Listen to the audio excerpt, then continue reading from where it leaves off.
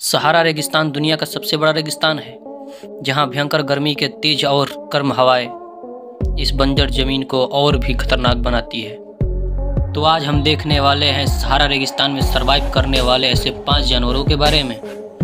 Number one पर आते हैं ओस्टीज यानी कि शुतुरमुर्ग ओस्टीज को दुनिया का सबसे बड़ा पक्षी माना जाता है। इसकी लंबाई ढाई मीटर से ऊँची हो सकती है और इनका वज़न 145 केजी तक हो सकता है।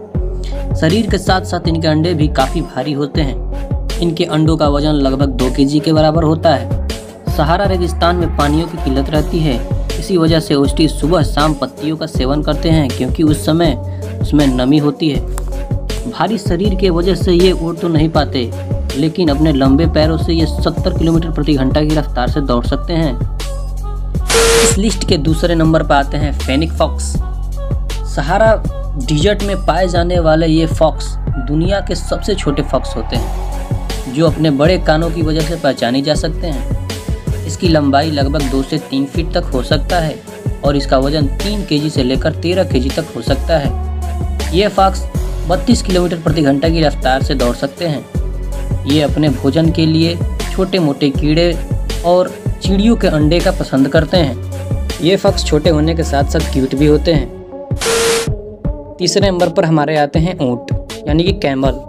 सहारा रेगिस्तान का नाम हो और कैमल का नाम ना है ये तो नामुमकिन है। इन कैमल की लंबाई लगभग 10 से 12 फीट तक होती है। वहीं इनका वज़न का देखा जाए तो 400 से 600 केजी तक होता है। इस बंजर रेगिस्तान में 32 किलोमीटर से ज़्यादा डेली चलने की वजह से ही इन्हें रेगिस्तान का जहाज़ के नाम से जाना जाता है। और इतना चलने के बाद भी ये बिना खाए पिए हफ्तों तक ज़िंदा रह सकते हैं। चौथे नंबर पर आते हैं हमारे साइड विंडर स्नैक।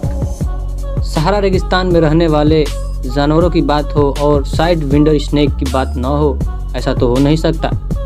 ये रेगिस्तान में रहने वाला दुनिया का सबसे जहरीला सांप है, जो इंसान को मारने की काबिलियत रखता है। ये सांप 29 किलोमीटर प्रति घंटा की रफ्तार से चल सकता है और ये तिरछा भागने के लिए जाने जाते हैं। ये शिकार पर नज़र रखने के लिए अपने पूरे शरीर को रेत के अंदर दबा देता है और आँखें बाहर रखता है। इस लिस्ट के पाँचवें नंबर पर आता है एडेक्स एंटोलोप। ये जानवर हिरन की प्रजाति का होता है।